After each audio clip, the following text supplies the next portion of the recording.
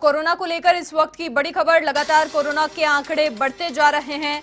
राजस्थान में कोरोना का ग्राफ बढ़ है। दोपहर दो बजे तक की रिपोर्ट में 45 कोरोना पॉजिटिव सामने आए।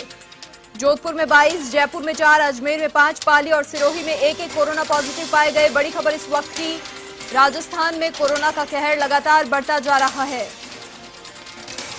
सिरोही में पहली बार कोरोना पॉजिटिव मिला।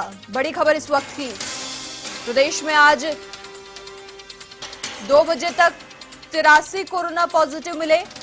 जोधपुर में 22, चित्तौड़गढ़ में 16, जयपुर में 13, पाली में सात अजमेर में पाँच धौलपुर में चार और कोटा में दो।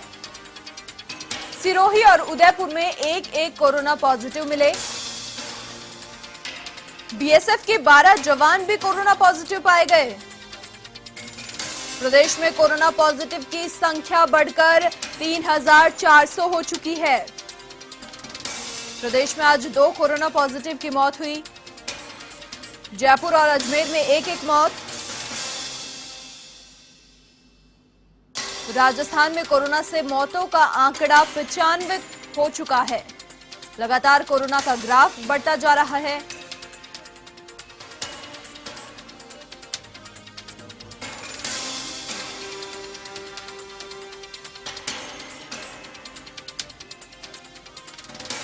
सिरोही से इस वक्त हमारे संवाददाता लियाकत अली फ़ोन लाइन पर जुड़ चुके हैं। जी लियाकत देखिए सिरोही में पहली बार कोरोना पॉजिटिव पाए गए। किस प्रकार के इंतज़ाम वहाँ पर करवाए गए हैं? बिल्कुल मनीषा अब तक सिरोही जिला पूरी तरीके से ग्रीन जोन था लेकिन दो मई को अहमदाबाद से एक प्रवासी भाई आया था जिसके आज रिपोर्ट पॉजिटिव आ चुकी है। उसके बाद ही प्रशासन में हड़कम मच गया है। नया खेड़ा जो गाँव है उसको पूरी तरीके से सील कर दिया गया कर्फ्यू लगा दिया गया है। साथ ही जिस बस से ये आया था यात्रा करके उसमें जामोत्रा बल्लूट नवारा के जो यात्री थे उन सभी को भी ट्रेस कर लिया जा रहा है और उनको भी पूरी तरीके से पाबंद किया जा रहा है। हालाँकि अभी तक स्वास्थ्य विभाग द्वारा पूरी तरीके से गाँव में अलर्ट घोषित कर दिया गया और स्वास्थ्य विभाग की टीमें लगातार उन लोगों से संपर्क कर रही है उन लोगों को ट्रेस कर रही है और पूरी तरीके से इस संक्रमण को लेकर मुस्तैद है। लियाकत वो आने के बाद क्वारंटाइन हुए थे या नहीं या फिर अपने परिजनों से उन्होंने मुलाकात की थी तो उनके परिजनों को भी अभी क्वारंटाइन किया गया है या नहीं? बिल्कुल जिस जो जिसका मामला पॉजिटिव आ चुका है उसके परिवार के सदस्यों को भी स्वास्थ्य विभाग ने जिला अस्पताल ले जाकर आइसोलेशन में रख दिया है क्योंकि एहतियात के तौर पर वो परिवार से मिला था या जिन लोगों से मिला था उनकी भी हिस्ट्री निकाली जा रही है ताकि ये संक्रमण और ना फैल सके। बिल्कुल लियाकत तमाम अपडेट के लिए आपका शुक्रिया। दो बजे तक की रिपोर्ट में आज तिरासी कोरोना पॉजिटिव सामने आए। लगातार कोरोना का आंकड़ा बढ़ता जा रहा है। राजस्थान में मौतों का आंकड़ा पचानवे हो चुका है।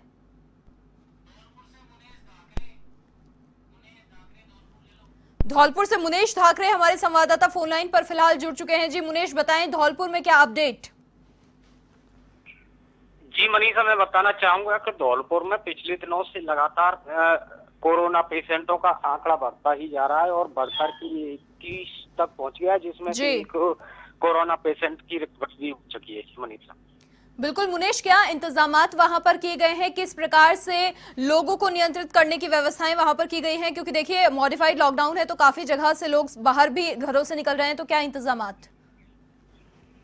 जी प्रशासन के देखिए इधर एमपी और यूपी की सीमा को पूरी तरह से सील कर दिया गया है। उधर बयाने की सीमा है जो बच्ची की नज़दीक है उसको भी पूरी तरह से बंद कर दिया है। लेकिन फिर भी इसके बावजूद भी लोगों का आवागमन जो कच्चे रास्ते है ग्रामीण इलाकों से निकल के और ये जैसे जैसे करके और ये पहुँच रहे हैं और ये संक्रमण है जो कोरोना का वो फैलता ही जा रहा है और जी। बिल्कुल मुनेश तमाम अपडेट के लिए आपका शुक्रिया। लगातार ये आंकड़े बढ़ते हुए राजस्थान में कोरोना पॉजिटिव की संख्या बढ़कर 3,400 पहुँच चुकी है। और अधिक अपडेट के लिए जोधपुर से सत्येंद्र सिंह राजपुरोहित फ़ोन लाइन पर जुड़ चुके हैं। जी सत्येंद्र बताएँ जोधपुर से क्या अपडेट किस तरह के इंतज़ाम हैं? जी मनीषा निश्चित तौर पर जोधपुर शहर में यदि आज देखें तो तेलंगाना से आज पहली श्रमिक ट्रेन है जो सुबह जोधपुर पहुँची थी। इसमें करीब 921 यात्री सवार थे। यदि बात करें तो करीब 770 यात्री वो थे जो अन्य जिलों से थे और जिनको बसों के द्वारा उनके जिलों में भेजा गया। वहीं एक सौ इक्यावन के करीब स्थानीय जोधपुर के यात्री थे जिनको अपने घरों की ओर भेजा गया सबसे बड़ी बात मनीषा लगातार जोधपुर शहर के अंदर है जो कोरोना पॉजिटिवों के आने का सिलसिला जारी है। अभी जो दो बजे की बुलेटिन जारी उसके अंदर 22 कोरोना के पॉजिटिव मरीज़ सामने आए और जोधपुर का आंकड़ा करीब आठ पहुँच गया है। जी मनीषा। सत्येंद्र एक बात मैं यहाँ पर ये जानना चाहूँगी जो 22 कोरोना पॉजिटिव आए हैं उनमें बुज़ुर्ग हैं बच्चे हैं या फिर युवा वर्ग शामिल है? क्योंकि ये जानना बहुत ज़रूरी हो जाता है कि फ़िलहाल कोरोना किन किन को अपने आगोश में ले रहा है। जी बिल्कुल यदि इस पर बात करें तो लगातार जो कोरोना का सिलसिला जारी है उसमें हर उम्र के लोग इसमें देख के जा रहे हैं। सबसे बड़ी बात जो लोगों के परिवार है वो परिवार के परिवार पूरे कोरोना के पॉजिटिव नज़र आते हैं जिसमें बच्चे भी है बुज़ुर्ग भी है और जवान भी है। इस कदर लगातार जो हर उम्र के जो लोग है वो इस वक्त जोधपुर के अंदर कोरोना के पॉजिटिव आ रहे हैं।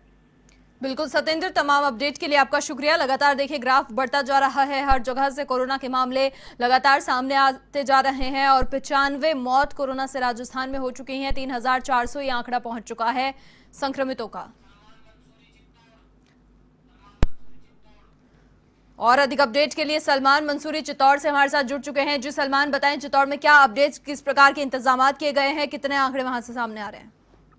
मैं मैं आपको बता दूँ कि आपको निम्बाड़ा जो चित्तौड़गढ़ ज़िले का जो निम्बाड़ा है वो हॉट स्पॉट बन चुका है। यहाँ लगभग 117 कोरोना पॉजिटिव संक्रमित पाए गए हैं। इसके अलावा इसके साथ ही एक बदेसर भी इसके अंदर इंक्लूड है। इनमें से एक व्यक्ति की पहले मौत हो चुकी है और आज सुबह एक व्यक्ति की और भी मौत हो चुकी है। लेकिन उसको बताया जा रहा है कि उसको अन्य बीमारियाँ हैं ग्रसित बीमारियों से उसकी भी मौत हुई है। जी। सलमान मैं ये जानना चाहूँगी कि बाकी क्या इंतज़ाम किए गए हैं? देखिए मॉडिफाइड लॉकडाउन है तो लोग घरों से बाहर भी निकल रहे होंगे। उन, उनके लिए किस प्रकार की राहत? क्योंकि बहुत सारे इलाके ऐसे होंगे जो ज़्यादा जहाँ पे संक्रमण का खतरा है तो लोगों तक राहत सामग्री पहुंचाई जा रही है या नहीं? देखिए अगर मैं निम्बाड़ा की बात करूँ निम्बाड़ा के अंदर बिल्कुल डोर टू डोर सप्लाई हो रही है सभी आवश्यक वस्तुओं की। इसके अलावा चित्तौड़गढ़ में सुबह सात से दोपहर तीन बजे तक मार्केट खुला खुला रखा गया है। जी। सलमान तमाम अपडेट के लिए आपका शुक्रिया। राजस्थान में कोरोना का ग्राफ लगातार बढ़ता जा रहा है। आंकड़े लगातार बढ़ते जा रहे हैं।